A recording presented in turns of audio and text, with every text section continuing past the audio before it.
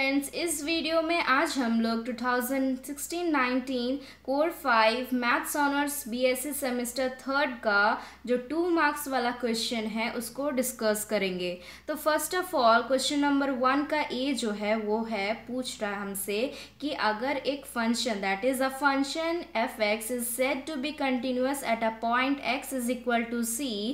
if and only if what तो by the definition of continuity we know that if a function is set to be continuous at a point x is equal to c if and only if limit x tends to c f x is equal to f c so our number one is correct option now the second question is the value of limit x tends to infinity sine x by x is so क्योंकि जो sign x by x है कि जब x को हम यहाँ पे infinity put करेंगे तो साइन x का वैल्यू क्योंकि माइनस वन और वन के बीच में ही ऑक्सीलेट करता है तो ये एक फाइनाइट क्वांटिटी हो जाएगा। और जो डिनोमिनेटर है, उसमें अगर इन्फिनिटी हम पुट करते हैं तो ये क्या? पॉजिटिव बट इनफाइनाइट क्वांटिटी हो जाएगा। ठीक है? That is as x tends to infinity sine x oscillates between minus one and one at the same time the denominator remains an approaches infinity and our numerator is finite, but our denominator increases without bond, ठीक है? तो ये कुछ ऐसा आ जाएगा that is approximately इसको हम अगर वन ले दैट इज़ क्योंकि ये माइनस वन और वन के बीच में लाई करता है तो अगर हम वन ले और इसका वैल्यू हम इन्फिनिटी ले सो वन बाई इन्फिनिटी होता है ज़ीरो तो यहाँ पे हमको पूछा था the value of sine x limit x tends to infinity sine x by x तो हमारा यहाँ पे zero that is three number will be our correct option now C number हमसे पूछा है the value of limit x tends to pi by four one minus tan x by x minus pi by four क्या होगा? तो इसको solve करने के, इसको हम क्या करेंगे? इसको एल हॉस्पिटल रूल से सॉल्व करेंगे। दैट इज़ जो limit x tends to pi by four है one minus tan x by x minus pi by four तो इसको हम अलग से डेरिवेटिव इसको हम अलग से डेरिवेटिव करेंगे। दैट इज़ इसको हम एफ़ एक्स माने हैं, इसको जी एक्स माने हैं according to L hospital rule तो एल हॉस्पिटल रूल लगाने के बाद इसको हम डिफ्रेंशिएट किए तो वन का ज़ीरो टेन एक्स का माइनस स्क्वायर एक्स और x का वन और इसका ज़ीरो तो माइनस एक्स स्क्वायर एक्स हो गया। तो इसमें अब हम पाई बाय फोर पुट कर देंगे x के जगह पे। सो so, क्योंकि सेक पाई बाय फोर होता है रूट टू तो root two into root two is equal to two आ गया। तो यहाँ पे माइनस था तो माइनस टू तो अब सी नंबर का that is limit x tends to pi by four one minus tan x by x minus pi by four का आंसर हो जाएगा three number that is minus two ठीक है?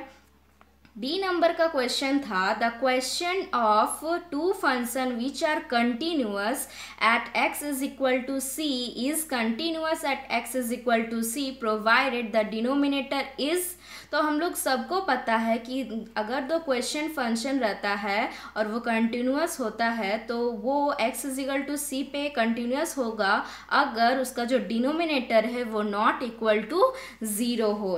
ठीक है? That is the question of two function which are continuous at x is equal to c is continuous at x is equal to c provided the denominator is not equal to zero तो यहाँ पे हम लोग को भरना है is not equal to zero ठीक है? ना ई नंबर का क्वेश्चन है कि e x is dash function for x for all real values of x now we all know that e x is a continuous function of x for all real values of x क्योंकि अगर e e, जैसे e e पे अगर हम लोग zero put करते हैं तो the value is one that is f zero is one ठीक है? नाउ एफ़ अगर ज़ीरो नहीं ज़ीरो नहीं हो x that is not equal to zero मतलब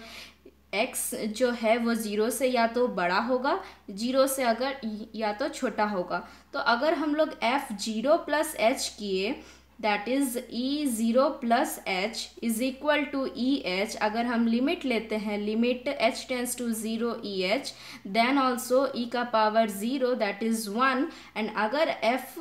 ज़ीरो माइनस एच लेते हैं तो भी e 0 minus h is equal to e minus h is equal to limit h tends to 0 e minus h that is e ka power 0 is equal to 1. So the ex is continuous function for all real value of x. So यहाँ पे हमको भरना था continuous function. Now the f number is every differentiable function is dash but converse is not true तो we all know that ये theorem भी है कि एवरी डिफरेंशिएबल फ़ंक्शन जो है वो कंटिन्यूस होता है, मगर मगर कंटिन्यूस फ़ंक्शन ज़रूरी नहीं कि वो डिफरेंशिएबल हो। That is every differentiable function is continuous but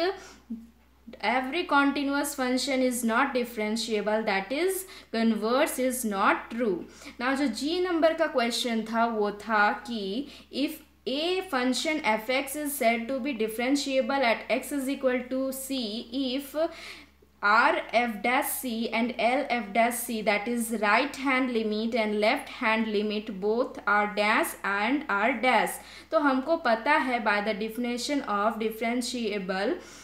कि अगर राइट हैंड लिमिट और left hand limit both exist करे और इक्वल हो, तब उस फ़ंक्शन को हम डिफ्रेंशिएबल बोलते हैं। तो यहाँ पे हमको भरना होगा if right hand limit and left hand limit both exist and are equal ठीक है?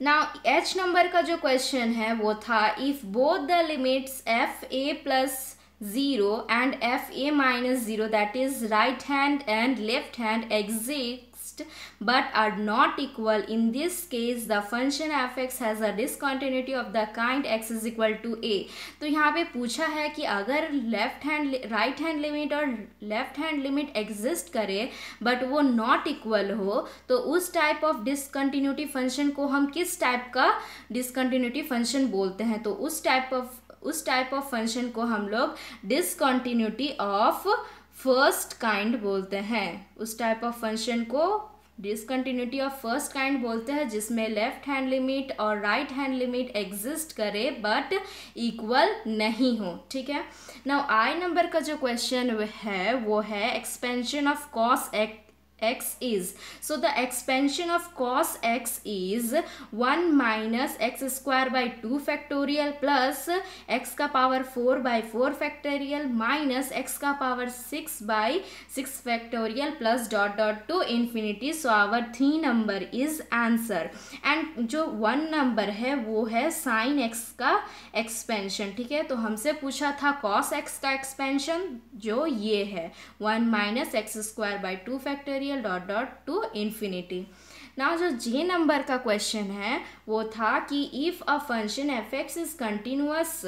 continuous in interval, closed interval a b and differentiable in open interval a b और उसमें एक ऐसा पॉइंट सी एग्जिस्ट करे in open interval a b तो by the Lagrange's mean value theorem f c will be equal to what so by the Lagrange's mean value theorem we know that f c is equal to f b minus F A by B minus A that is Lagrange's mean value theorem क्या है? अगर कोई function continuous हो close interval A B पे differentiable हो open interval A B पे, अगर ऐसा कोई पॉइंट सी एग्जिस्ट करे जो कि बिलोंग करता है ओपन इंटरवल ए बी पे then Lagrange's mean value theorem ये बोलता है कि जो एफ़ डैश सी होगा, वो इक्वल टू होगा f b minus f a by b minus a that is two number is our correct answer so